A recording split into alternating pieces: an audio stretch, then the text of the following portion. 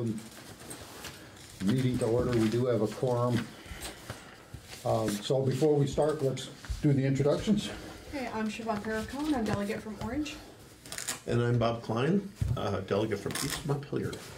Rama Schneider, delegate from Williamstown. And I'm Alan Gilbert. I'm a delegate from Worcester. Rebecca Schrader, I'm the clerk. So, the first thing is agenda revisions. I kind of got the, one of the things I'd like to do is I kind of got the impression that people were interested more in a 90-minute meeting than a 120-minute. So, after thinking about the agenda as I sent it around, just because of the topics, is everybody comfortable with just going for 90 minutes? I think so. Which is fine by me. I, I mean, because I, I rewrote the timing on this and, you know, I still tried to fit everything in there. I just, a few more, a few less minutes on different topics, but if we need more or less. Anyway, so I will work very hard and sometimes I'll be a little overbearing, but I will make sure we get out of here at two thirty. Okay? Two thirty, that's great. All right, well, that's, okay. Let's try three thirty. Why not? Uh, maybe I was out west a little further. Okay, so is there any, uh, any other agendas other than timing that people are interested in? Agenda revisions? I wondered about the budget, Okay, I, whether that should be a separate item and whether, and, and and maybe it's covered by something already in here. yeah, I, I, let me see, which, which one? The preparation for audits and compliance, that, that one Yeah. comes under that section, I, th- I thought. But we'll, we'll find out, because there, there's also the, in other words, yes, the budget fits in there somewhere. Yeah. You know, all that budget discussion. So the note taker, um, expectations, uh, I don't mind taking notes. You know, that, that's, it's fine by me. Uh, I, I, I'm used to taking notes to meet the legal requirements, but I also think that we also need to, you know, as we discuss and draw up lists, or we have concepts or ideas that we want to bring forward to the full board, they should be included in the minutes just to make sure that they get mentioned. Yeah. Why don't, let, let me suggest this and, and see if people will go for it. I think it's a fair thing to actually rotate note takers. Yep.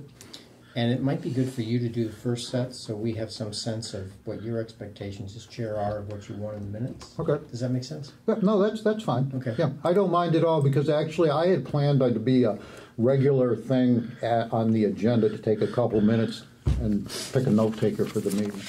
I think, it'd be- I, I mean, I, I, I don't mind just rotating around. If Okay. other people are Sounds willing to to do that, seems fair and all that kind of stuff. All right, so I, I'll take it, I'll take it tonight, uh, today, this afternoon.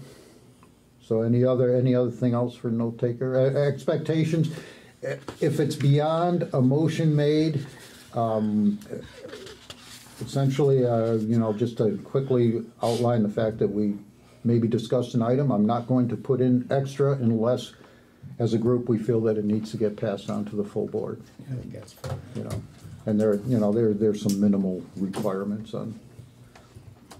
Um, committee meeting norms, so uh, we're moving along pretty good here. I was actually quite generous with some of the minutes I left on some of these things. So the committee meeting norms, I, I don't know if people feel that there needs to be a discussion on those or not. Basically, when I run a meeting, my job as chair is to make sure everybody gets some input, to make sure we come to conclusion on decisions that need to be made, make sure we stick to an agenda, and we get out of here on time. And uh, the ex- my expectation on myself and everybody else is that we're going to sit here and be civil and have civil discussion regardless.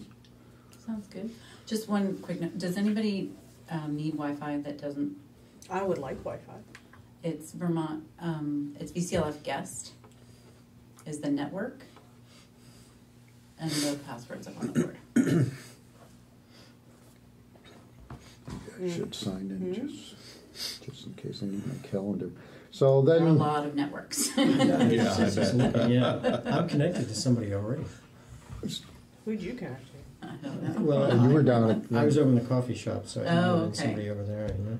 Yeah, I'm not even seeing VCLF guest. It's sometimes pretty far down because it's, the, the router's actually downstairs, so it's You would think it would be the strongest signal since you're here, but it's not So, necessarily the strongest network. Which one am I looking for? Oh, VCLF Ah, guest. And that was, I'm sorry, I, I'm gonna make you repeat it. The password was It's Oh, on the it's board on behind the you. board behind you. Vermont, Vermont. with a capital V and then capital C, capital L, and capital F. I think I'm an Xfinity person here. That's, It's just- That's all right, you're allowed to be. That's okay. Okay, so th- this is this is one I think it's good, kind of decides like where to put the budget and stuff in this discussion. The committee charge, and the what I have here is just to uh, review the committee charge and as we feel that we need it to develop a common understanding of what our realm of action is and possibly any questions that we need to bring back to the board if we have any confusion about it. So the committee charge was, you know, kind of simple. Uh, oversight over funding, bank account research, and preparation for audits and compliance. In the agenda, I broke them down into oversight of funding, bank account research, and preparation of audits. I interpreted that to mean oversight only applied to funding. You know, we weren't overseeing bank account research. We were supposed to do bank account research. And we weren't overseeing the preparation for audits and compliance at this point. But we were actually going to do the preparation. Um, I could see that last one changing if we go to a, a regular treasurer. But And, and- and what's actually meant by compliance? Are you thinking it means, yeah, right. Are you thinking it means compliance with requirements for reports, Or just financial matters? general financial matters, or? I mean, is there a formal definition in the financial world of what the word compliance means? Uh, well, I think it would, de- yeah, it depends on what you need to be in compliance with, so, you know, like, Right, as a, and what you're doing. yeah, what rules apply to our particular entity? Mm-hmm. Financial rules or all kinds of rules? Yeah, well, whatever, I would think we would be, oh, yeah, good question. Because I mean, a statute has all kinds of rules in it, and we can't be responsible. for Yeah, I would say just the them, right? financial No, rules just the relating financial to ones, I would the, imagine. the But district. If that's the case, then we need to let others Yeah. know that we're only looking at that sliver and then somebody else. I would think that the policy look- committee would be tasked with the broader Figuring out the compliance compliance. with the With other rules parts of the and statute. ge- Yeah, Or the executive committee, one of the two of them. right, Mhm. Yeah, not us. Yeah, no, well, I mean, Well, on executive committee. no, it doesn't make sense for the finance committee. Yeah, to be- no, right. Yeah, So, I just worried about that when I saw it because compliance is a huge word. You know? uh, Yeah, So I, I'm going to just put down committee is looking for precise guidance, Guidance or compliance. Guidance. get the word fiduciary in there something, that's a good word. Fiduciary responsibility. I can't even spell guidance anymore. G U, what, G U I, right? G U I D. Thank you. That's where I was missing. I try to spell it how I pronounce it. Precise guidance on what is meant Regarding compliance or something. by compliance. Um, anybody have any, otherwise have any questions as far as, you know, I mean, the areas that we're, um oversight over funding, we don't have any funding, so I'm not really, I, I don't know how, would what that would look like, but I'm not even sure that would end up staying with us, what do you think, would it? But it's there now. Well, I, I don't think it means what I originally thought it meant, which was that we were being tasked with fundraising. I think what it means is we're supposed to watch to make sure what people say is supposed to happen and does happen is consistent with the way we have agreed to raise funds. Huh. So I, I, I didn't, because if you remember, there was the, there was a conversation at the board meeting about what's the difference between the finance committee and a development committee. Right. And it's usually a development committee that, that fundraises, you know. Right. And the finance committee typically is in charge of making sure that, that everything the development committee says is happening really is happening and make sure money is coming in like it's supposed to. And that the bills are being paid, Yeah, ki- yeah, Mhm. yeah.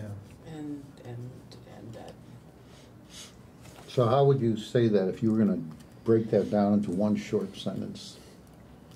You're an attorney, you must be able to do I'm not an attorney, that's my, Yo, you're not. That's right. I'm sorry. I shouldn't keep calling you that. And Not, not that I like attorneys, but I, I keep forgetting you're not because of your position you held with the ACLU for so long. I mean, I can't decide if it's a problem or a plus to not be an attorney. I haven't figured that one out yet. Um, task the committee with oversight over the organization's finances? Uh, With, with, with, with, with, uh, re- with ongoing review of the organization's finances?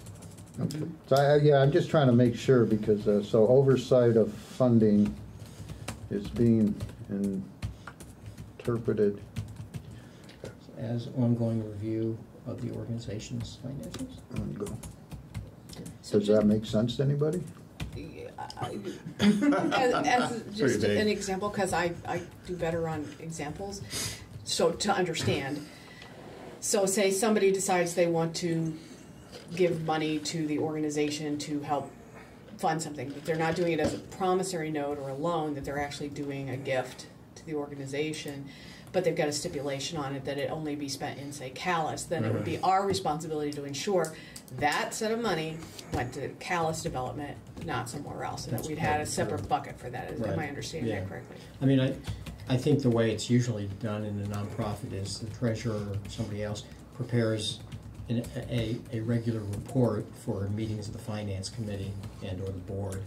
And it would detail stuff like that, you know, balance sheet, revenue that's been been coming in since the last report, any stipulations about conditions on gift Okay. and whatnot. Mm. Does that, does that make sense? Yeah. Yeah. I, I would want to make sure that, that uh, all the items that are uh, audited are pre-audited in a way Yeah. uh, by the finance committee, make sure that that stuff is actually happening the way it's supposed to. That's why I said on- ongoing review, because Yeah. I, I mean, an audit should be relatively easy for an auditor to do if you have all the stuff Right. prepared ahead of time for the person. They'll spend a lot less money on it, I think, too, if you do Mhm. that, which is really important. So audits can be expensive. Mm-hmm. So, um, if I leave it at oversight of funding is being interpreted as ongoing review of organizations' finances. The committee's ongoing review. Yes. Okay, does that, does that meet everybody? Sounds good. If we take it at least uh, that way, if I, you know, we report back out, at least we all know what we're talking about, so we Mhm. can explain in more detail. Yeah, because I think too, like as far as like if we're working with the development committee for if they want to go out and they need a letter, you know, that they're trying to get donations, um, they need a letter approved. That's something I think that we would do as a committee, and that would be somewhat under the funding oversight, but more probably under the compliance Right. um, as part of our job to make sure that whoever is out there raising money is doing it in accordance with the statutes. And it's actually doing it. Or when there's a, when there's a grant and they're soliciting a grant, it would be our responsibility for reporting and stating, yes, we have met, you know, like we've been paying our bills and Mhm. this is, this is proof that we've been paying our bills. Because some grants want to know the financial performance of the organization they're funding. Right. Who pays the bills, I wonder? The treasurer pays the bills. Usually. That's it. And until we get money coming into the organization, it's a personal expense, right? I can, I can, uh, Whoops. I had other pressing. I'd be willing to, uh, front, uh, Siobhan her two, two hours of Our parking. two hours apart. yeah. So, After that, I'm tapped out. I just have one question. We're a five oh one C three by definition of being a municipal corporation, is my understanding. yeah, That, does that mean that every time there's money given to us, a gift, we have to determine? No, I guess it's the responsibility of the person who wants to take it as a tax deduction to report whether they've got anything in return. It would be on us to provide a correct receipt. Right. So if, Yeah. if maybe part of the money was for something that they Direct- received, Yeah, then it would have to be itemized. So maybe they give us a hundred dollars and fifty dollars of that is for Building a line to their house. yeah. Yeah. Um, then that would be itemized as so that it would be not deductible, Right. and then it would be fifty dollars donation, and that and that nothing was you know there'd be a tagline on there that nothing, uh, no goods or services were received. In. But that would come from us. Right, So in some sense, that's an example of our doing compliance. Right. Yes. Okay. No, Yeah, good, uh, I good, that's a, that's a good catch. I chatted with Carol Monmer the other day, and I think she mentioned that uh, some of those people who early on, you know, put down thousand dollars or whatever it was, uh, uh, still have not received internet access. Boy, talk about generosity. Huh? Yeah. That's really That's understanding. Okay, so then the, the last two, just to see if there, there's any questions on them, let's try to get through this pretty quick. So, um, bank account research is pretty self-explanatory, right? I mean, but, and preparation for audits is, okay, you were about. A, a bank, I was thinking about a bank, if we're going to somehow split that up. That, um, that will um, come, that, that will come as part of the agenda. Yeah, we, I, I think need to come up with a list of items or questions or data that we're going to, So we're all asking the same questions. so that, mm-hmm. yeah, we're all Yeah. asking the same thing. That, yeah, that'll definitely come up as part of the agenda item there. Should, should we also be saying bank or credit union account? Because, mm-hmm. I mean, the Yeah. bank people will point out a credit union's not a bank, right? No, We should just, So we Credit unions will point out that credit unions are banks too. Yeah, I know. so, But so yeah, we wanna add, financial institutions, I think. Yeah, maybe. financial Right. institutions is better. Financial account. so I'll just ask them about, you know, just making that change and we can just assume it. Yeah, I, I think everybody would agree we should make some change Yes. that reflects our seeking something maybe beyond the bank. From bank account re, so assume change from bank account research to something more expansive. How about financial account research? Right, yeah, well, yeah, some, something more expansive that we can get to at the general meeting and then we'll, yeah. Mhm. So we can't just tell them we're changing it.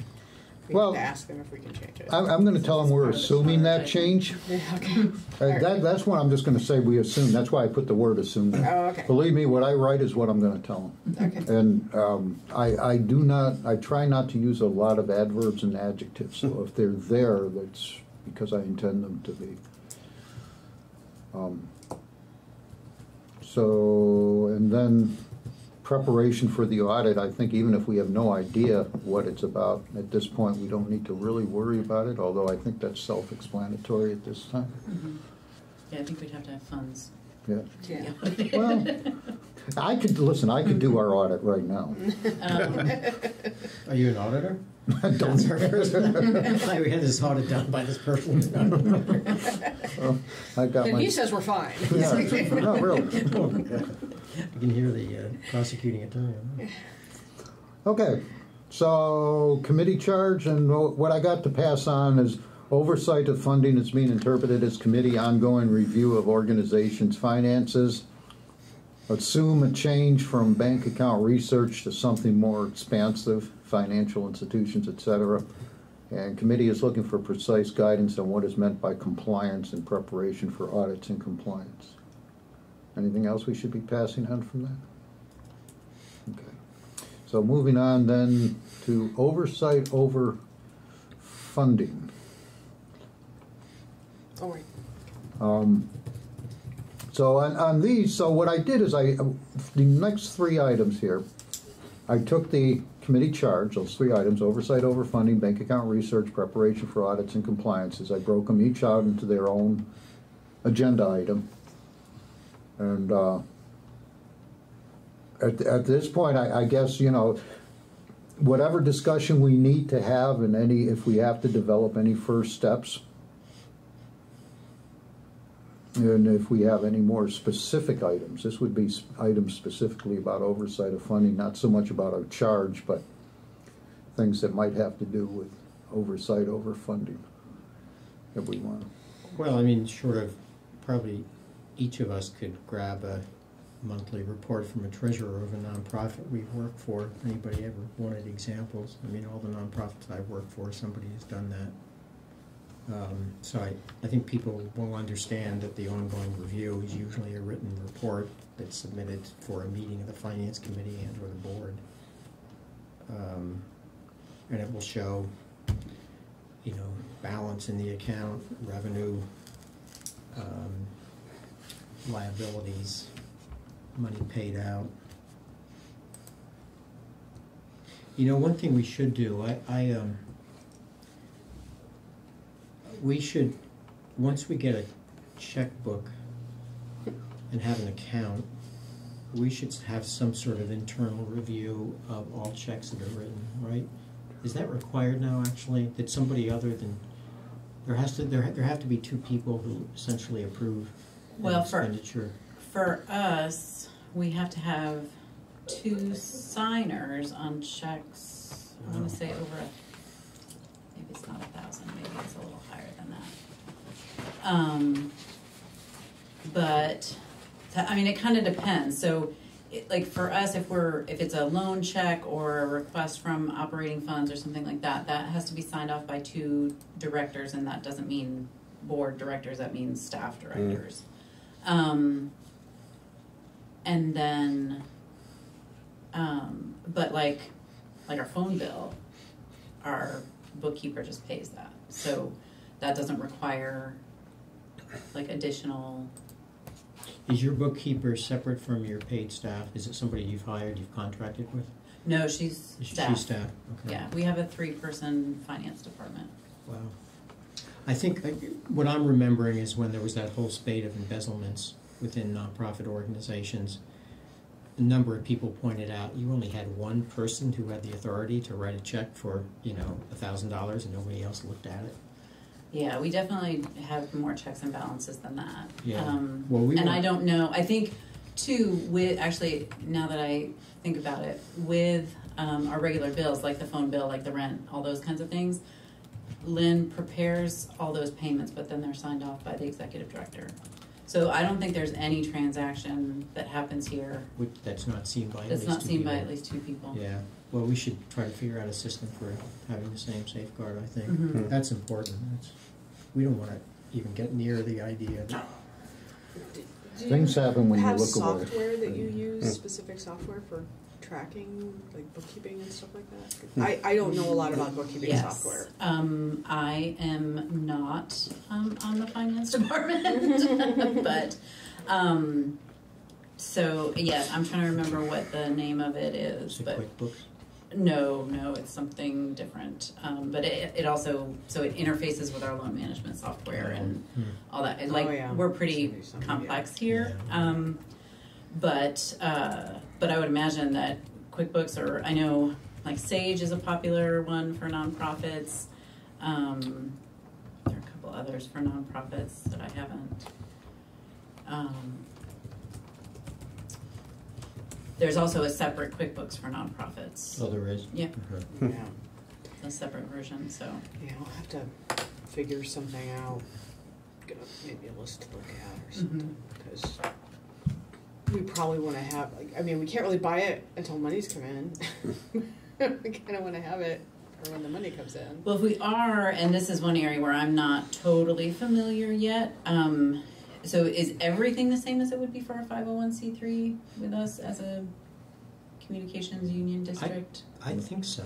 Okay, because one of the things that we can do too is, um, we can get a TechSoup account. I think so. That would be really good. Um, and they have, so they offer, they basically manage donations or Okay. discounts from a bunch of different software providers. Very cool. Um, and so you just apply and then you can get, you know, like Microsoft Office for, you know, twenty bucks a year per user or something like that. Pennies on the dollar. Yeah, Sweet. it's really Hmm. good. So is tech soup two different words or It's one word very with a modern? capital S With the S though. capitalized, right? Very modern. All right, I'm assuming they spelled soup correctly. Yes. And it's Um, not, it's not a dollar sign, yes. And uh, yeah, and so all we would need to do for that, that's where I would, I would just have to do a little research on what they need because usually what TechSoup needs is your letter from the IRS saying that you're a 501c3, and I don't know that they I mean, it would probably just be our certificate from the, You know, they might not let, let government entities, oh, okay. you know, I've never Yeah. applied through a government entity for it, but it's worth a try, Yeah, see what they say. Yeah, worst you can do, say no. Yeah, and then we plead poverty and, which is true. Well, I, I'll, I'll tell you, in some of these, because having experience with doing a little more of a hack job on bookkeeping for a nonprofit that- in Williamstown Food Shelf, right? I was just picked off the streets to be their treasurer, and this was even before we became our own nonprofit, simply because I was one, I could, knew how to balance a checkbook, you know, I- that's what they were looking for, and at first, that's all we needed, but as time has gone on, and then people have asked for a little more, um, detailed bookkeeping that I, I was using. I, I've been using um, GnuCash, which it, it's you know it's it's open software solution and it works well for what it's advertised for working and it works as advertised. It just isn't. You know, it's it's all. It, it's just not the adequate solution for what's needed. I can tell you mm-hmm. right now. So we really should look. Mm. I, I know having researched for the food shelf some of these other options that they offer right out of the box. You know, full setups with full support as far as how to set things up, and you're not left with somebody like me sitting there guessing how to set up an account system. yeah. And then not setting it up very well and then having to redo it and. Yeah, but as long as I'm the only one looking at it, I can redo it to my heart's content. The scary part is someday I'm going to have to hand it off to somebody, and they're in trouble. Yeah. You you know, it might be worth it asking Irv Thomae what they've done down at EC Mhm. Fiber. I, do you do you have a way of contacting him? Or? I don't, but I probably could get I that might have from address somebody. somewhere. Let me see. Because they, they must have figured this out. Mm-hmm. I think so. We used uh, QuickBook for non QuickBooks for nonprofit when I was the executive director of a much smaller nonprofit in Iowa, and I think certainly, at least at this stage, it would be plenty. That would be plenty robust for what we need right now, or you know, for the next year or so at least. Um, you can set up all your vendor accounts. So if we have you know, like regular bills. um, you can set that all up in your chart of accounts and that kind of stuff. But same, you know, like when I was a treasurer for a much smaller nonprofit, um, that basically we were just doing, you know, four or five things. I just did that in Excel. Yeah, yeah. And Right. even So. in QuickBooks is popular enough and well known enough that even if we end up moving to something else, transferring from QuickBooks Yeah. to something Mhm. else should be Probably. comparatively painless Right. if we have to expand at some point. I have a question of the- about this bank account th- business. I think we're Next, one- next, hold on to that. That's Okay. the next agenda item. Okay. We are coming up. Bank account research is number seven. I want to make sure we get through this one first. 'Cause Yep. Here, we're still trying to talk specifically about oversight over the funding. right, right. So, uh, right now, what I have to take forward is to let them know is policy, we need to develop some policies and And procedure. procedures for financial checks and balances, right? Mhm. I put process, I should put procedures. Is that us or is that the policy committee? Well, that, that's a good question. I, I think we should probably, but, uh, we need, I'll Yeah, we put, could suggest, we could make some suggestions maybe. Yeah. Mm-hmm. yeah, I mean, it'd be great if they would do it, but I'm not sure we really, that's the best way to do it. uh, We might end up with some really weird policy. Right. Being, being a member of the policy committee. Well, yeah, I, I think it's important that it, it be kind of coordinated in the sense that we don't want to develop a policy that's going to contradict something that gets created in the policy Or that bylaws. it just doesn't make sense, you know, because people aren't as familiar with, I mean, you, you two probably know as much about finances, any of us, and it's gotta be more than the other people in the policy committee. I mean, I don't think there's any really, you know, Oh, no, you, you have the superintendent there. Well, Jim Bar, yeah, and and Jim uh, Barlow sort of knows some of this just by being an attorney who worked for the League of Cities and Towns, but still, it would be better for Yeah. us to think this through, I think. Mm-hmm. So that we, we could, we could develop the, we could be given the policies with input from us, and we could develop the procedures for implementing those. Mm-hmm. So, okay, I'll put that suggestion in there. Hmm. Policy and bylaws. Develops policy. And we can, you know, bar, I can certainly finding. bring some templates and samples and that kind of stuff. I mean, one advantage of Yeah. being here is that we do have investors here in addition to grantees, uh, grantors. Mm. Um, so, you know, we do all of that kind of stuff, so. And we do our investments as promissory notes, so.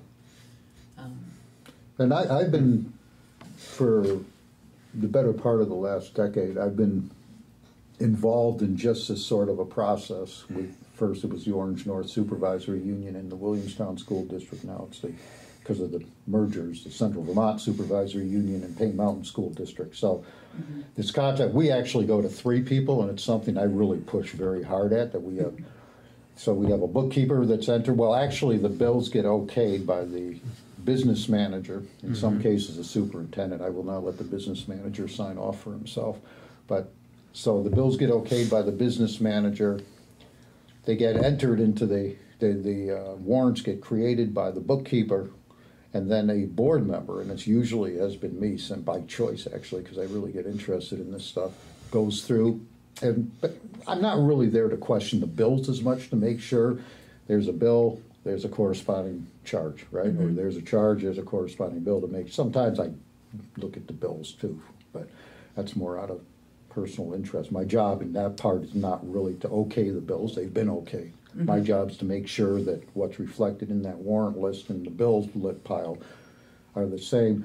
And then they go, in the case of the school district, they actually goes down to the town treasurer who signs the checks. And in the case of the uh, Central Vermont Supervisory Union, the warrants then go to another board member who signs the checks, so that we end up with a minimum of three people involved. But, you know, we did, we did too, for a while there, I was, I was doing that final check on the warrants and signing the checks for the supervisory union, but I really, I, Yeah, I fought good against that. But It's just, we didn't have people to do it, you know, it was an absolute, but it's not a good way. And I, I tell you, when it comes, the reason I, I like to talk about the school districts on that, when Salmon was still the auditor, he did a, he, he went out and did an audit of school districts. I- My feeling was he was expecting to find all sorts of waste and fraud in the system. And he came back that over a ten-year period, it was like a, something, I calculated it out to be like a point zero zero zero zero three percent hmm. waste and fraud. Hmm. And that's because just about all supervisory unions, just about all school districts have multiple people involved. You know, you don't have the same person saying, "Oh yeah, I can write this check. It's okay. Yep, and let me sign it."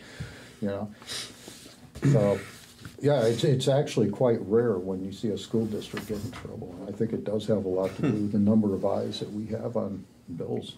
Yeah, I think it's smaller nonprofits with, with a limited number of people involved in the Yeah. operation that mm-hmm. have the problems. And I mean, the, the thing that I've been mm-hmm. thinking about is the way that Irv described how they set up their revenue coming in and how they were expending it was was a little bit complicated for mm-hmm. for who for who they were. I mean, they, they were getting money in different ways, including promissory notes and essentially bonds, and they were you know, redeeming bonds early and, and all that kind of stuff. And then they had contractors who were actually providing the labor they needed to build the system. And it just sounded it got complicated pretty quickly. Yeah. Mm-hmm. I think it's better to have more oversight than less oversight, but, mm-hmm. but without being cumbersome. I mean, we have to hmm. trust a contractor. I think. Yeah. So anything else anybody wants to, anything else I should put in to bring forward to the board for oversight of funding very specifically? Hey, We wait a still minute, have I a just few more minutes something. on that. Do you do you guys have insurance? Do you have to get liability insurance for community? yes, I think so. I mean, I assume so. Are we going to have to do that for this communications union district? Once we, s- uh, I would think the contractor would carry for the Yeah, for the one of the installation and the, and the workers who are doing the installation.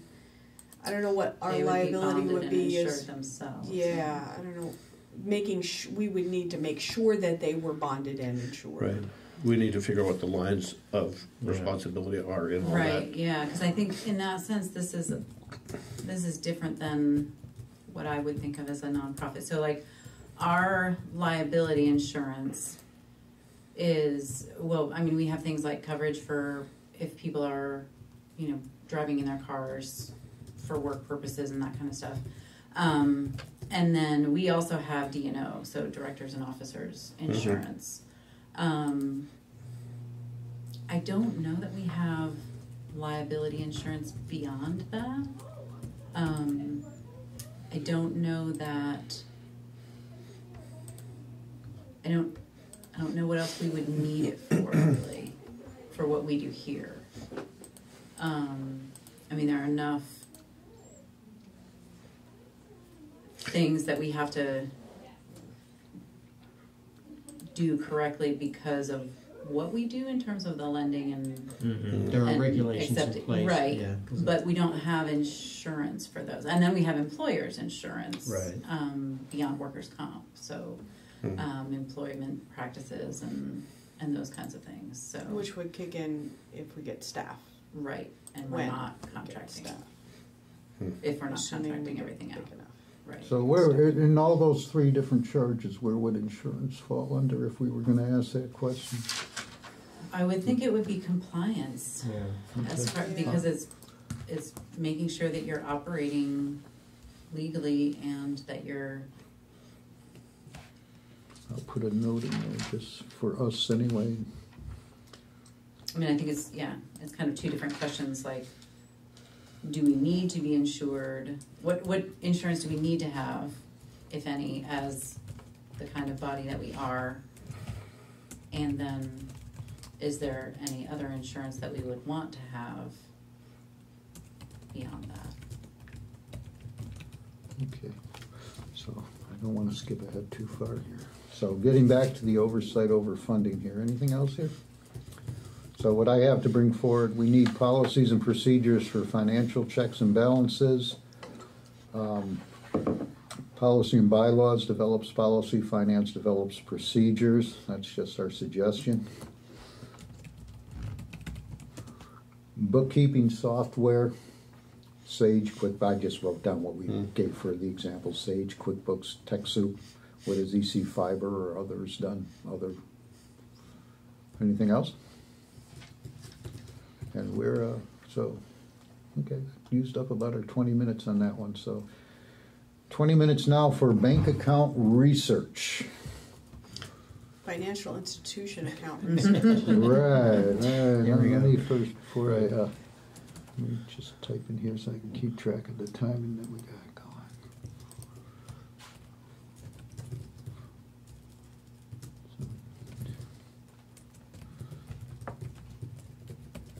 going. Okay, so. So I, I guess so. Okay, so first let let's let me just make note of that bit about that we looking at thing should be Right. financial We're a nonprofit. institution research. If I can spell institution right.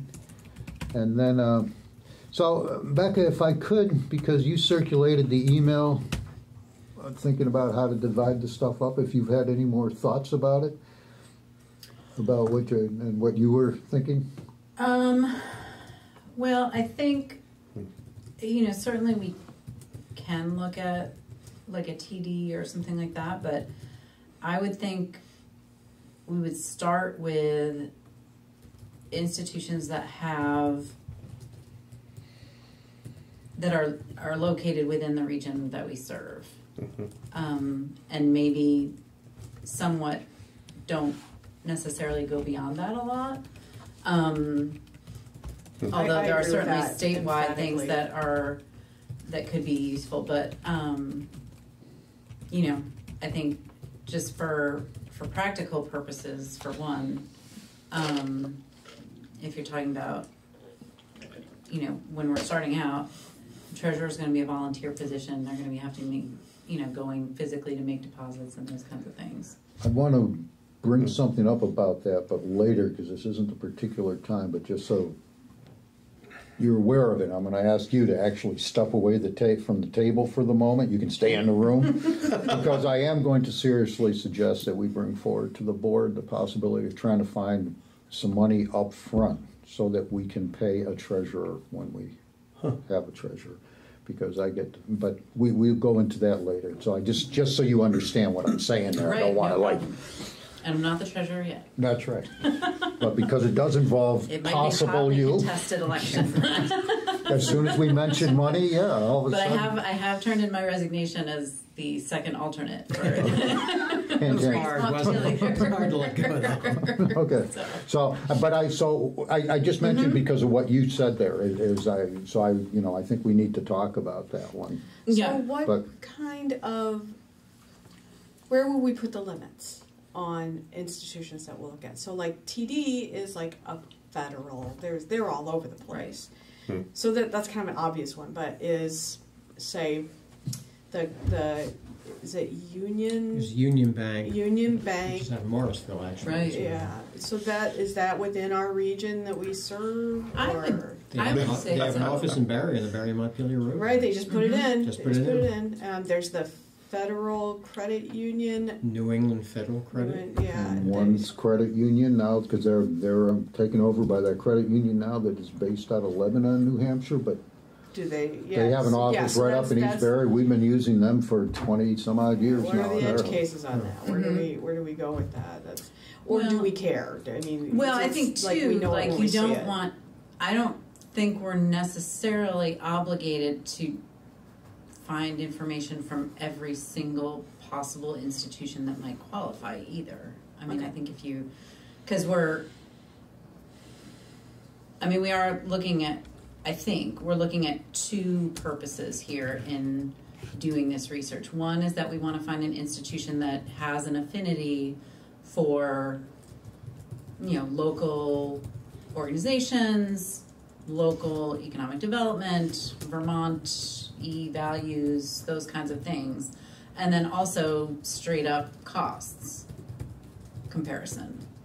Would that be correct? Uh, I'm, I'm hoping that there's people that have more experience at higher levels of nonprofit finances than me that can give some guidance as to what questions I would walk in and ask. I mean, mm-hmm. Mm-hmm. I, I have some general ones that I know to ask, such as how much would it cost? And, you know, what kind of services do you provide? But I mm-hmm. don't know if there's specific questions we need to ask walking in.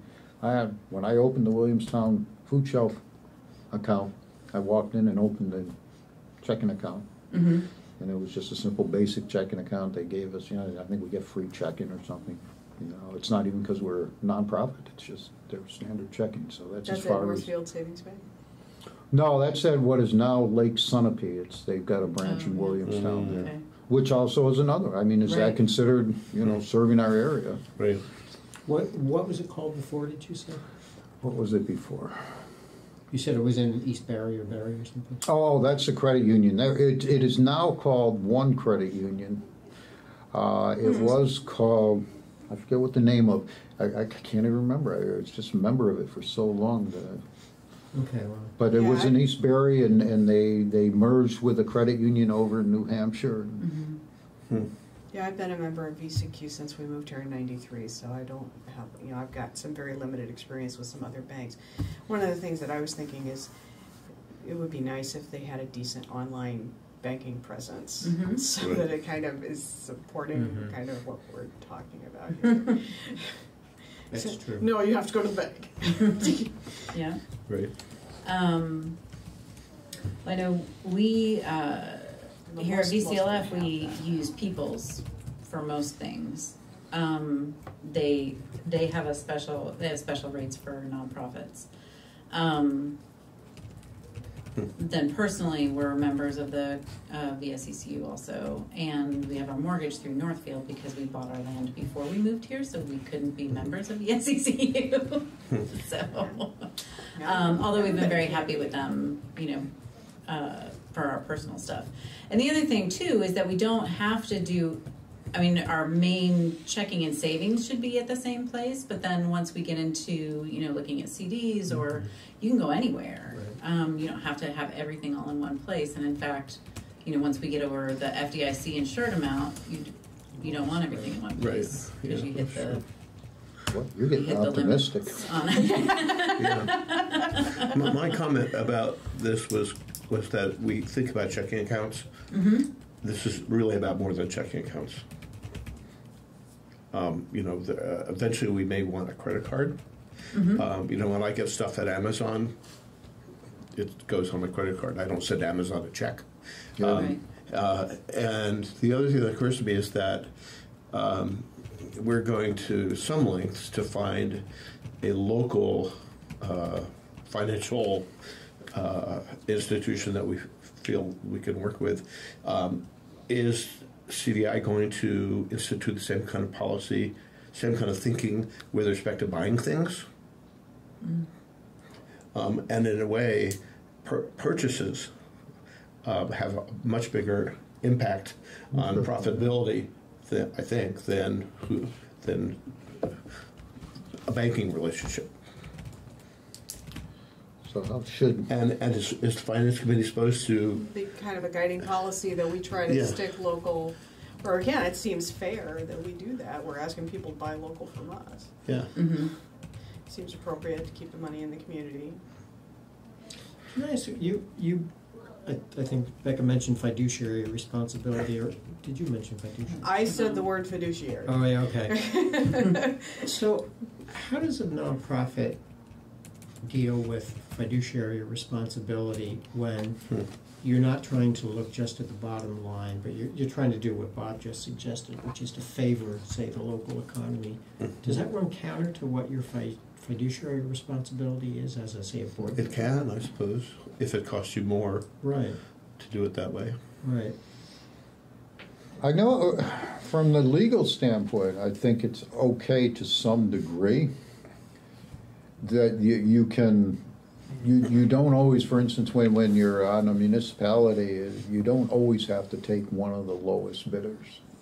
But you have to be within range of the lowest bidder and you have, you generally need to have some decent reason. I know we have, in, in the school district in Williamstown, we, we've occasionally have picked something that's slightly more expensive because they're a local vendor mm-hmm. Over somebody that wasn't. Seems like we could, as, as a matter of policy, as, as our, fin- within our financial arena, is set a kind of rule of thumb as guidance, not as a, this is what you'll do, but as a, as a, as a guidance of say, if the local option is say twenty-five percent or more higher than this other option, we need to review it or something like that. But otherwise, you know, within a price range of, because most of the stuff we're probably gonna price, you know, a ream of paper, I don't think we're gonna go pricing a, around a lot. But some of the stuff that we might end up having to obtain, we'd probably price it before we bought it. Mm-hmm. And, and so it shouldn't be too complicated to try and meet just a guideline so that we're, we're owning that. We have a local responsibility, but we also have this fiduciary responsibility to not overspend because, to spend responsibly because we want the, the organization to remain um, afloat. And we are in a competitive situation. Right. Essentially, in some areas. Right, So, and so, so like, you know, we may not be able to hire a local ISP to roll out wire on the roads Okay. because who, who, who will we get? Mm-hmm. Okay, I think at this point, we're getting a little far afield from the financial institutions. By the way, this is what I meant, that I can be, a- I, I can be a bit of a mm-hmm. pain in the ass on this, but otherwise, mm-hmm. we're smart people and there's a lot of stuff we could talk about all day long. Mm-hmm. So, I just worry about some stuff like this because you can really get into very long discussions. Yeah. I mean, they go on mm-hmm. forever. well, this is why to start with the, you know, discussing it and start the Yeah. questions. Mm-hmm. We start, the, the best thing about discussion I have found in these committees is we get a feel for what people are, what we're each thinking and what's possible to move forward as a group with. Um, so what, what I put down there for that was how should policy regarding choosing fin, uh, financial institutions work in conjunction with policy regarding other service and product purchases. I also have the, should be financial institution research in quotes there. Make sure we bring that, that, that seems to be something we need to do. And I think that's a good question to take back to the, the board as a whole, is, is that balance of, do we, you know, do we wanna be looking at things on straight cost, or do we want to prioritize local and Yeah. to what extent? And it's a good place, you know, the banks would, or financial institution would be a good place for us to stretch our legs on that and see how it fits Mm-hmm. our vision, you know, look at the Hmm. CUD's vision. So, uh, so we should start now, I, I don't know if I should keep this in, but start with institutions that serve our region.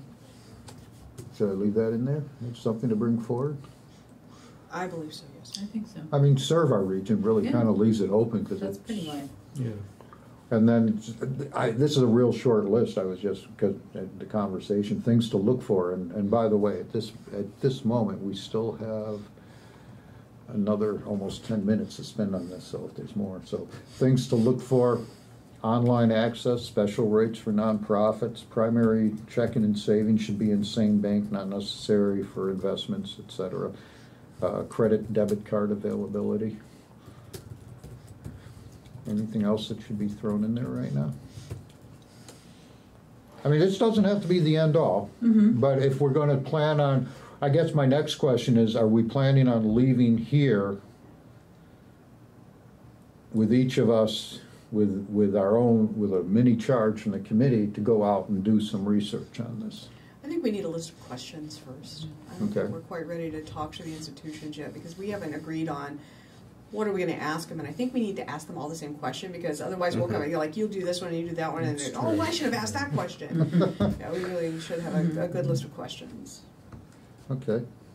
So maybe then what, to give us time on that, so rather than sit here and just spend a lot of time trying to think up questions, if you guys sit down, spend a few minutes some point thinking about this and say, geez, you know, I just thought of, send me an email. Hmm. And I'll just keep, ta- I'll just keep tagging on and, and have a list compiled that, you know, will come forward at the board of whatever anybody hmm. sends me, you know, I'm not mm-hmm. gonna filter it or anything, so be careful. So we'll have the board look at it and they can say, no, don't ask that question. Yes, ask that question. Or Or suggest another Or question. suggest Yeah, another question. or That- that- I like that, I like that idea, because then we're getting information that some of them, because I don't necessarily think like the rest of them. Yeah. And so we're at least getting some, if we give them examples, it may encourage them to think of other things that we haven't thought of, is where I'm trying to get with that. Well, it gives us feedback, and, and I, I- actually, I hadn't thought about it in those terms, but I think that's an excellent point. Uh, my primary, my initial reasoning on doing this and making sure we bring some stuff forward is so they understand what we were thinking. You know, but, but yeah, I, I think, you know, in the avenue of two-way thinking that it works. So do we want to move on from bank account research, or does anybody have anything else to add to that at the moment? I'm Good. I'm good. And also along with the list of things to look for, if you think of specific institutions that you think would be good, you know, mm-hmm. good starting places, send those along too. I'll build those up. We're, we're back from recess now, so that's good. That, that only took us a minute off. So we're actually still within schedule at, at the ninety-minute meeting here. So we're on to now, this is preparations for audits and compliance. And I did already include about what type, what about insurance, what types, when do we need it, et cetera, so that's already here. I, um, just had wrote, written some notes, and this is where I had how to approach subject of salary for CUD treasurer. However, I think that should be moved, I'm gonna move that down and bring it up under the committee roundtable, because it, it will, I, I just want to make sure we have everybody to discuss audits and compliance here, and I don't want to chase anybody away from the table at this moment. So, um, so this is where we kind of need to review thirty VSA 3070, 3074, and thirty seventy-five. These are all parts of the CUD law. There are other parts that deal with finances, and as Bob was very kind to point out, that, you know, we actually have work, something defining work for us, right? Yeah.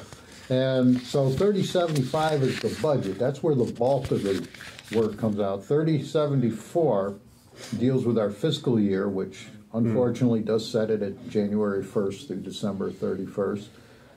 And uh, thirty seventy just talks about the audit, which is, I think, at this point, the least pressing bit of business for us, because even if we had an audit to do, it wouldn't be done until, well, 2020 at this point, right? The spring of 2020, because we'd have to get through 2019 to have anything I have auditable. one year, that's horrible, yeah. Mm-hmm.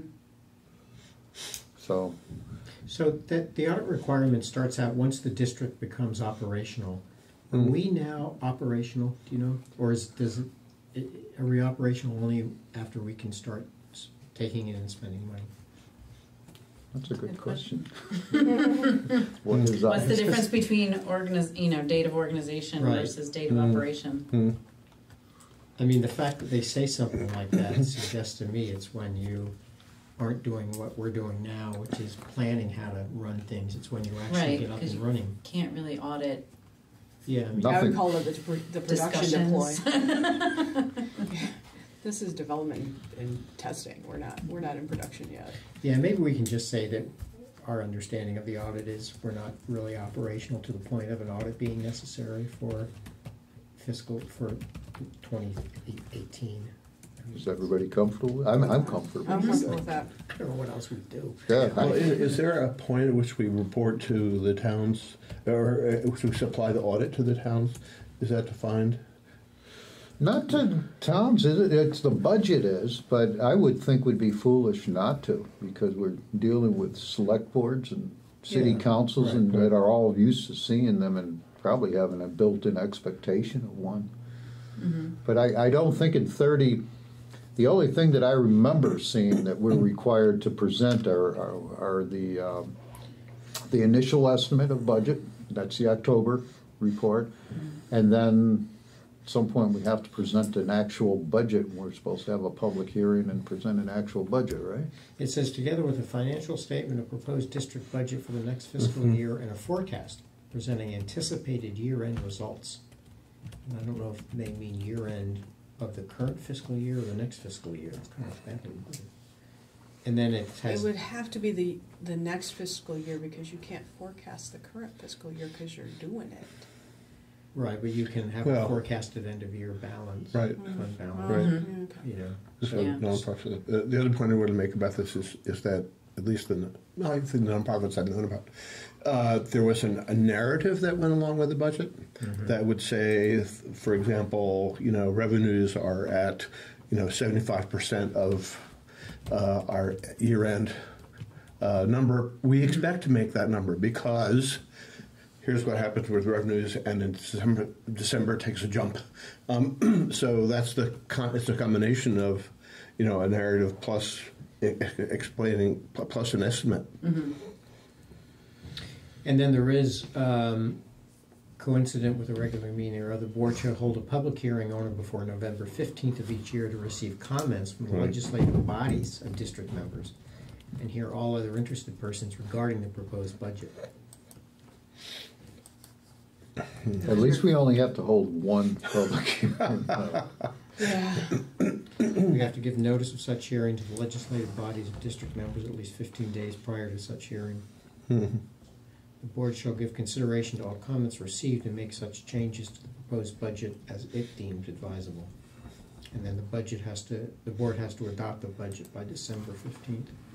That seems kind of mean. We're like, most of the select boards meet the first, like, week of the month. So we're giving them November Hmm. fifteenth, we're saying, okay, we're having this meeting, and then they, you, you have two weeks to get this decided on and get your comments back to us. That's their problem. Well, I, I, if you think about it though, if we do our job, because we're, we're actually, this is, in a way, some ways, it's a little bit different. In that, we're, I, I am sitting on a board, and this is the first time I'm on a board where I'm representing another board. In other words, you know, I serve at the Williamstown Select Boards. Um, Pleasure.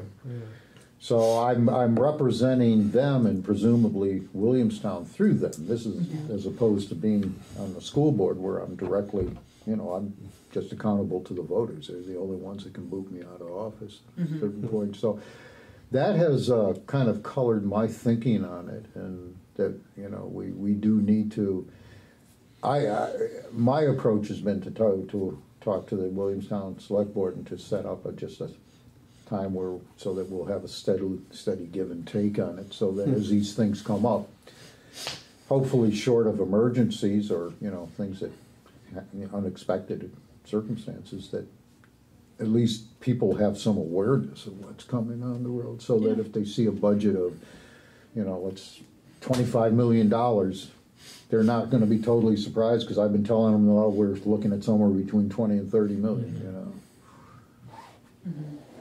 Well, and I think plus the fact that we're not asking for town funds. Hmm.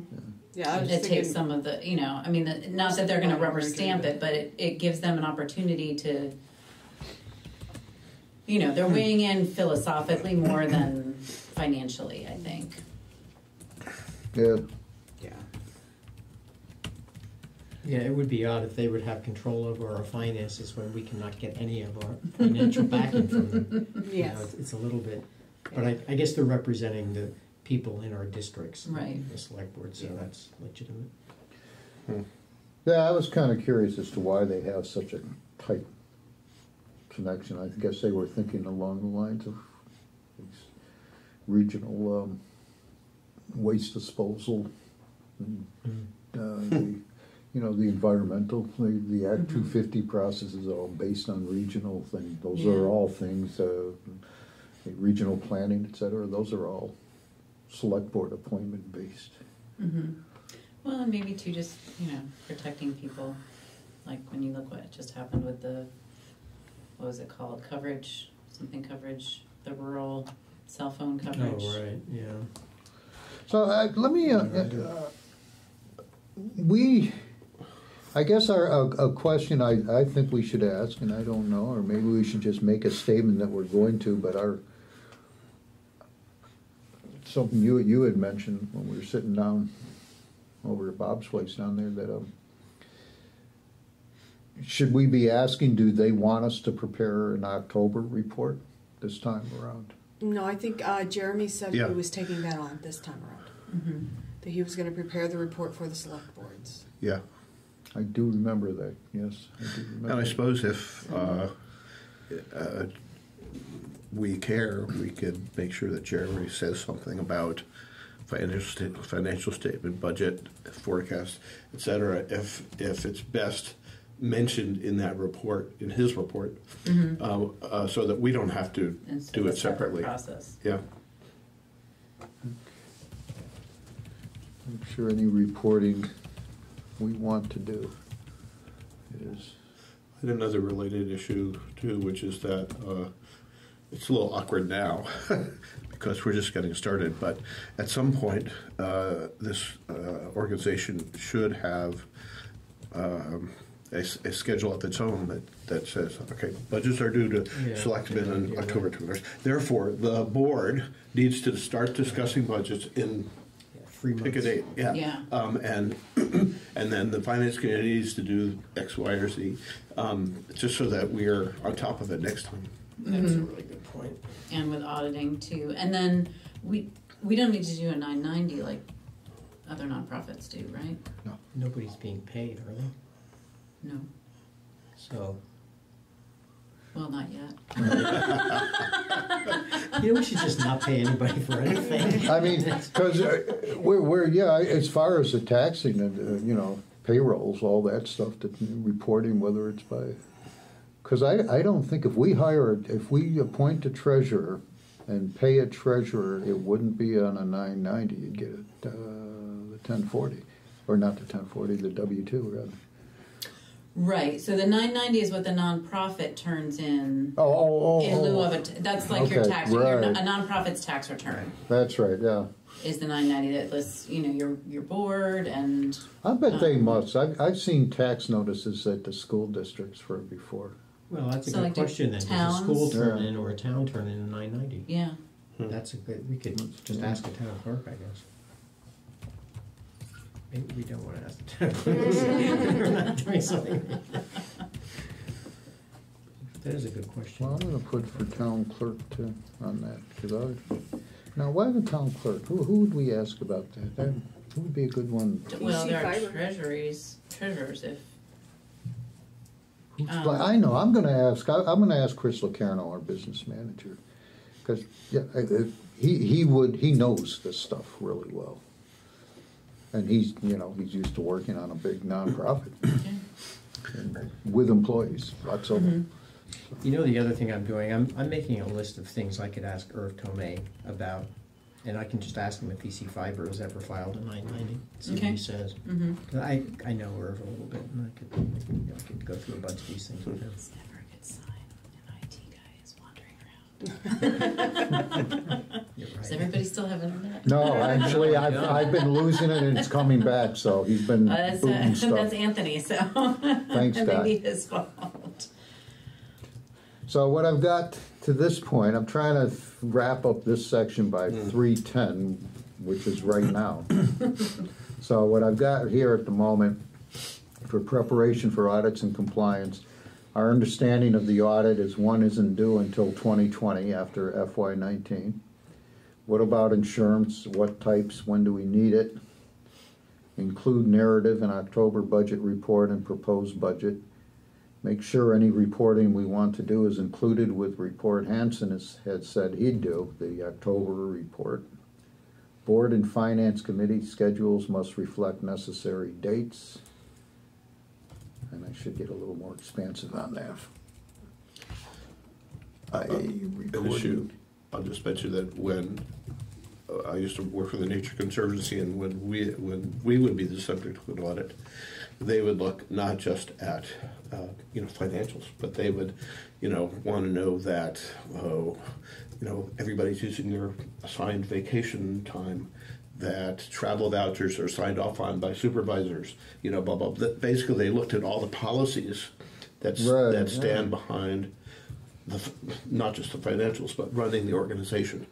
And we need to be clear about uh, uh, whether it'd be useful to know whether, when we say audit, we're talking about an audit, financial audit, Financial audit. or an audit of the whole kit and caboodle. Right. You know, maybe I'll, uh, what I'm gonna do too, yeah, I, I'm going to just send a general email to the state treasurer's office and see if they have any guidance to offer on that.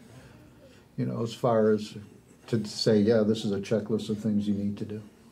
Yeah, good idea. Yeah, because I know, you know, they have both the, I'm pretty sure the treasurer's office and the um, Secretary of State. Secretary of State and the Attorney General all have kind of, you know, guides for nonprofits and that kind of stuff, but I don't know, you know, because we're weird. um, I don't know if we, you know, we definitely follow all the, you know, because we're a municipality, we're, we function like a municipality, but we also function like a nonprofit, and it's just kind of, um, I don't know if there's specific guidance out there for exactly what we are. You know who might be It's able to help different. is Jim Barlow and ask Right. LCT mm-hmm. because we're Yeah. essentially like a city or a town. Right. Mm-hmm. We're not allowed to be a co-op, right? We don't like the word co-op, cooperative. I mean, we are a communications union district, so I don't know if that that's a different thing. yeah, it is. Yeah. It's stat- statutory creation. Cool. But if then, I mean, you can act like a co-op, but te- technically we're a CUD. We're a co-op. Well, if you hadn't said it, I would have. So. I wanted to beat you to it. So I added in there, then contact state treasurer, so I now take care of this one. I'm just, I'm, good. it's gonna be simple, I'm gonna s- start with just sending them an email. But to, uh, contact state treasurer's office, secretary of state's office, and the attorney general's office regarding guidance on tax and other filings required. Required of a CUD. I just love it that we get to sit in Vermont and chew our cud. Anything else somebody, anybody wants in there, or any other comments before we move on? What does the U stand for? Union. union. Union. It's, yes. Okay. So community. Communications. Communications. Union. Sorry. Union District. That's all right. It took me a while too. I had to see it in a number of times. because I kept saying community too. Communications Union. District. Okay, so if we could just, uh, so we're, we're at quarter after here, so let's get out of here in no more than 15 minutes, maybe a little less. So future meeting dates and locations, mostly what I'm interested in here is just, do you guys have preferences? I, I, ninety minutes seems to be a preference, is that right? If possible. Okay. Yeah, if we can do it. Yeah, no, I, I understand if possible is always there in anything I say, but if, if, I'm the type, I'll sit there for hours, so, you know. So ninety minutes is preferred. Uh, any specific locations? I was thinking it'd be kinda neat if we could, I mean, there's five of us here, um, are we each from different communities? No, we have two East in East Montpelier. Montpelier. Well, we're from four different communities. You know, I mean, it'd, it'd be kind of fun if we if we had the opportunity to kind of move them around. Uh, I know in Williamstown it'd be easy. I would either could I definitely make use of either the person uh, the uh, what do they call it the uh, public safety building. You know, it's the fire department ambulance. Got to call it public safety. We put in a little room for the sheriffs to use, which made it a public safety building, which made a like a couple million dollars worth of federal money available to help build the structure. And, and of course, up to schools, and the schools have some really great places to go to be able to have a comfortable meeting. I think the Orange Town Hall is nice, but it's kind of out of the way from everybody else. That's a hike, especially in bad weather, right? Yeah, Go up over the hill. but So, I, d- I mean, i- if I'm, not, fi- I'm fine going. Central Point, it seems to be Montpelier. Yeah. I work in Montpelier, Mm-hmm. so and you work in Montpelier. I don't know where y'all work. You're in. I try not to work, but I, I, I live and I work in Williamstown. Yeah. I, I, Yeah, so- I'm, I'm retired, but I'm, if I hang out anywhere, it's here in Montpelier. So if Montpelier seems good, and there are locations, I mean, obviously here, but there's also the library, there's the mm-hmm. schools, you know. Are we allowed to use National Life state offices? I'm sure they State have offices? space 'Cause available. I can grab them because that's where I, that's where I work. Yeah. Is up, up. State office in Yeah, National I'm, I'm sure, I, I I know they have spaces they make available for public meetings up there. I don't know what the rules are. I don't either, but Is we're, this, is this space, is it okay to use the space, or is it a Mhm. pain for you to have to arrange that and stuff? No, I asked Will, and he's fine. And I we all have access to um, our conference room schedule, and so I mean there are certain times it's not heavily utilized. So Uh-huh. um, unless and until we get to a point where We've got people. we've got people, yeah, um, you know, large public interest, or the committee gets a lot larger, or whatever. Um, obviously, this is a little bit limited space. well, we, we could, other if, than that, it's if we focus on the general location then, and, and the days and the times that are best, and then, the- especially in Montpelier, if we're focusing on Montpelier as being the general location, there's enough meeting spaces that we can find a place to meet our meeting, hmm right? So. uh, yeah, I that- can grab pretty much anything at National Life if I've got notice. Okay. okay. So I know ninety minutes is preferred. Uh, Days of the week, are there any preferences? I can tell you right now, Wednesdays, right now, uh, basically, I think the second Wednesday of the month is about the only Wednesday. Uh, The second Tuesday wouldn't be good for any of us. Tuesdays are generally bad for me. Okay. Just in And, and what time of day are we talking about? Well, we- That, that too, along with the days. That, that's going to be a little tricky for me because we have one car. Okay. And we work until four mm-hmm. and then I have to get my husband home in Orange, and then I can go out. And so, you know, I'm usually I get home to Orange about five ish. But you don't want to have to take your husband home and then come back here. Oh, well, I do that all the time. That's Really? Wow, that's a schlep. I'm an electric car. Okay. There we go, It's, yay. it's like 25 minutes. It's not that bad. So, uh, uh, it- are other people okay with evening meetings? I prefer evening meetings because otherwise I have to take leave time. Yeah. And, and that's that's a hardship on me because we have chronic health stuff, and so I'm always short on leave. But I could make leave time work if I had to, especially if we were up at National Life. Mm-hmm. We could just schedule it as a meeting. So do we, well, that, that might be. Wait, that just went on the record. I didn't say that. maybe alternating. I mean, evenings are are Yeah, possible for me, but they're but they're hard also because I have kids and I Right. coach Oh, yeah. soccer and Oh, Yeah. yeah. um, Mm. So what works best for you? During the day, at the end of the workday, kind of thing, four o'clock or something? What about early morning? Define early. Well, I'm, I'm thinking for something like this, early would be eight or nine o'clock. You know, but I'm, I'm Yeah. thinking I'm pe- catching whoever has to go to work somewhere. mhm. You know, catch you guys on the way to work. Um, I could do as early as eight, because by that time I have everybody where they need to be. Yeah, and if, if I've got notice, I can flex my schedule. Yeah. So I could like add some time to a telework day or something like that, and my boss is amenable to that if it's not too frequent. Because I can do mornings with So with like an- notice. So like an eight to nine thirty? Yeah, Would, yeah. would I that could- actually be good for you?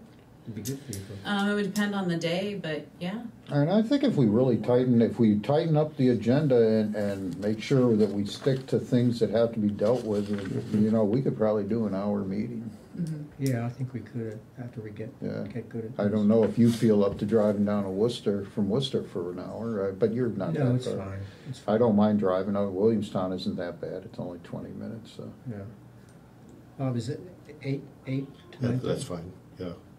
So, all right. So I'm, I'm gonna I'm gonna try Yeah, that. we can next try it, time. and if it doesn't Yeah. work for Yep. somebody, we can just.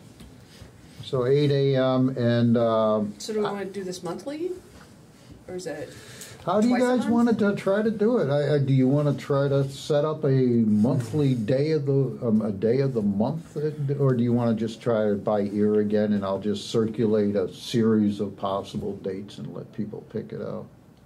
I think we ought to give the eight AM meeting time a try without locking ourselves into a specific Okay. date, just in case there's something we're not thinking about. So I'll cir- circulate a set of dates to pick from.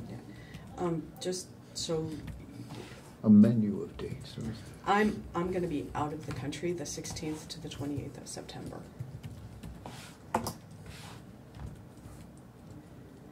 That should be okay because Yeah, we're I- I the don't twenty-seventh, think. so. Yeah, I don't think it'll be a problem. So Well, what days though?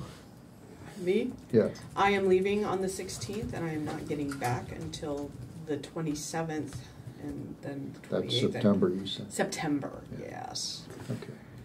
Otherwise, I'm around. That's one of the reasons I have such a tight leave time. Okay. Mm-hmm. So we're taking two weeks to go to England. All right, that's good. I, we'll, we'll keep, And I'm out of town for work the 12th and 13th of September. Actually, I could do the 12th because I leave that afternoon. So if we're doing early morning, I could do the 12th. Just But I won't be here the morning of the 13th. But that's like only two weeks away. Right. Yeah. Yeah, Okay. so we So that to shouldn't be- yeah, Yeah, that is, I mean, you're looking for either very end of September or beginning of October, right? yeah, I mean, that, that would be it. It'd be, Okay. at because the So, ne- yeah. our next meeting's the eleventh for the full board, so. Okay. Yeah, the, yeah, the 28th would work. The 27th would not work for me because I'm gonna be on an airplane. Okay. Okay. But the 28th, I could make work, I'll, I'll, and I'll, after that, I'll grab a list of dates then and just pass them around and, you know, pick which ones work and we'll send them back. It, it, you know, generally, listen, my experience is it takes usually a couple emails to pin down a meeting Mhm. date. You know, you, you send out a bunch of things for people to choose from, they choose some number of them, and then you just look and you say, well, who's, how are we gonna be able to get a working number of people together? Because we're not all going to be able to make every meeting. It's not going to ever happen. I'm gonna try. Yeah, but I want an award.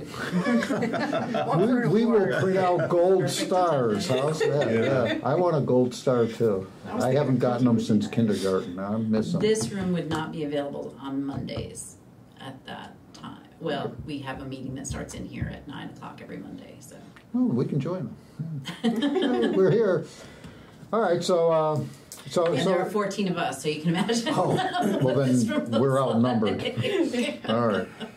So for future meeting dates, locations, and times, then uh, we- we'll be looking at 90 minutes. The schedule, you know, the schedule will be developed for 90 minutes. We'll be looking at trying to start at 9 a.m. and I'll pick a series of dates that will be after the 27th of September. Sounds good. All right. So now we're up to the public comment. Do you have anything to add? So now the committee member roundtable, and this is something I'm also planning on keeping in the agenda, even though I'm, I'll keep it down to five minutes or even less if that's all we need. But I think it's important that we all, especially to give me feedback to let me know if the meeting's being run right. My job is not here, like, I, don't view my job as a chair to be everybody's leader. My job's to run the meeting, make sure we have an agenda. The agenda is taken care of and the business that we have, that we've all agreed that we have to take care of gets taken care of. So I need to be told if I'm doing what you guys expect. Uh, the, and the other thing is, there may be things that are, people want to bring up for future meetings or just want to mention. So, in, in light of that, I, I, I want to mention two things real quick. One thing is, I have been introduced to a third way of board voting here in Vermont with the, the CUD. And the statutory primary way, uh, a public body votes, you have to have a quorum to have a business meeting, and you have to have a majority of a board in order to make, to, to make a decision, has to vote to approve a decision. So if you have a five-member select board, you'd have to have at least three of them to conduct business. And in order to have any action taken, all three of them would have to vote yes.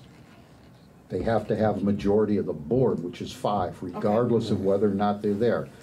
Schools, Title 16 changes that for schools. We still need to have a quorum, a, a, a majority of the board to have a quorum. So a five-member board, school board, you'd still need three to have the quorum, but you only need a majority of those present to take action. So on a school board, you could have three people there for a meeting on a five-member board, and you only need two people voting yes in order to take action. Mm-hmm. Got the distinction there? It was two out of five. Okay. Yeah. So now a third way, which is introduced, that it is not, at the committee, that first way applies to us by statute. At the, at the CUD board level, there is a third way now, which is defined in, in that, uh, in that statute for the CUDs. We have to have a majority of the board, and the board being defined as, you know, having primary or an alternative. So you have to have a majority of the board to have a quorum. And, but in order to have an actionable vote, you only need a majority of those casting a vote.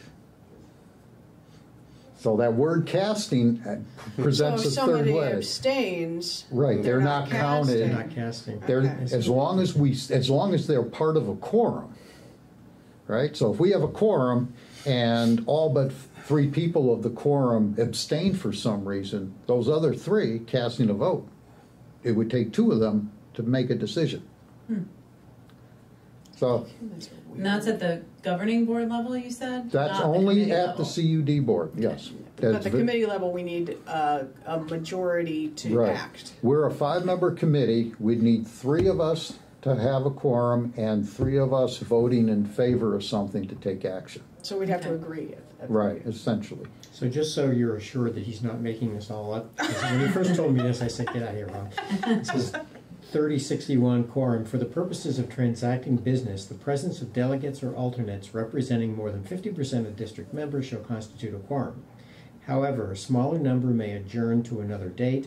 Any action adopted by a majority of the votes cast at a meeting of the board at which a quorum is present shall be the action of the board, except as otherwise provided in this chapter, which has some other weird exceptions that I don't think apply to what Ron's Yeah. talking about right now. It was just kind of weird because it- it's, you know, Yeah, cast a vote, yeah, it's, yeah, it's interesting.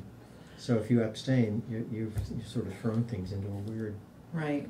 So then, because one of the things that I was thinking about too was if hmm. if I am the treasurer or whoever is treasurer is presumably going to sit on this committee, there are probably going to be things that the finance committee votes on that the treasurer would abstain. yeah, because you conflicted. yeah. Right. personal, yeah, but only having to do with your personal finances though. You wouldn't be abstaining from the business financing part of it. Well, yes, except like I could see so so like one of the one of the things we do here, and again that we're not huge, but we are fairly complex. Like our director of finance prepares the budget, then the finance committee votes on it, but she, while she's a member of the finance committee, she doesn't vote on it because she's the one that prepared it. It hmm. Does that make sense? Yep. It does make sense. I understand. I, I no, I, I do. I understand what you're saying makes sense in the sense that I, I know what you're saying. Mm-hmm. As one individual, I disagree with that interpretation because I think just because you prepare a report. Now, I, I'll tell you, I, I work in a slightly different world from some of these other municipality laws and schools, or, or, but even here, this applies to select boards. For instance, there was a there's already been a Vermont, there's been Vermont Supreme Court cases and U.S. Supreme Court cases that kind of deal with this issue. That, for instance, uh, when a school board's acting in an extrajudi- or in an extrajudicial role, where we have to have a, a, a an official hearing for mm-hmm. maybe a teacher appeals a firing by the superintendent or something, and for years I had been told that you know, oh no, no, you can't know anything about that before you have that extra, before you have that hearing because it, it'll be prejudicing you. But as it turns out, when I went looking into it, there are Supreme Court, U.S. Supreme Court, and Vermont Supreme Court decisions that say no, that's not true. You are allowed because you are. Ex- it's it's anticipated the way the laws are written that you will be involved in certain steps. In order, in, uh, in other words, you might get initial for in the school board thing, we might get initial information from the superintendent saying, uh, and going into executive session and saying, listen, I'm having such and such trouble with this educator, and I, I you know, it hasn't worked. I put her on remedial training, et cetera, and I think we're going to try to go through the process of getting her out. I just want to give you a heads up because it might lead to some issues. And then for the teacher to come back in front of the board to have a hearing, or in the Supreme Vermont Supreme Court case, it even went further. It was a principal that was appealing a decision of the board prior to them having that extrajudicial hearing. She was saying, well, they couldn't have done the extrajudicial one because they were prejudiced because they had rendered a decision prior to that mm-hmm. on the exact same case, sitting as a school board, just mm-hmm. dealing with it from a policy point of view. And the Vermont Supreme Court stated, no, that's not so. That's anticipated in the law, and that's fine. That doesn't mean they did that, does not mean that they were prejudiced in the decision. That is why I'm saying that just because you write a report doesn't mean you don't get a say so on it. Okay. Because you might look at the report and say, this really sucks too. Seriously. Yeah. But, but that's just my, that's just mm-hmm. one person's interpretation of the world and, you know, don't use me as an attorney. Or somebody please. at the meeting might convince you Yeah. to not accept. I have to think about this, I think that, I, I mean, you might want not to have to vote simply to not be put in the position of having to express an opinion about your own work. I mean, Yeah. you, you know, you might have developed a budget that you didn't agree with, Mm-hmm. but somebody wanted it in there, let's say. Mm-hmm. And I'm not sure you should have to, to vote on Well, as long as we keep this number and have enough people there, it wouldn't be a problem Right, for me to abstain. right. Or the other alternative is for the treasurer to become an, what's that term, ex officio member, mm-hmm. where you're not actually a voting member, mm-hmm. but you're a member in the sense that you mm-hmm. have every right to participate in the Right. discussion and all that everybody else on the board has. And to bring, so that's another, I, So what, what do you do here? The person who prepares the budget is, is a member of the committee and does have voting rights? I don't know that she does have voting rights. Okay. I don't actually, I don't, because I don't go, I'm not on the finance committee. Uh-huh. Um, so we are very, I mean, our executive director has been the executive director for 13 years. Mhm. Our board is largely for very big, High level. 30,000 Yeah. feet oversight and governance. Um, we do a lot of stuff at the staff level. Mhm.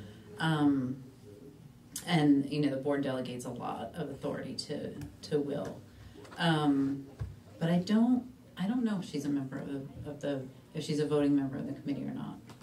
Um, Because I think all the nonprofits I've worked with, the, the person who developed the budget is usually like the financial manager, an employee of the organization. right, and that's what our finance that's just director would she- be. yeah. yeah.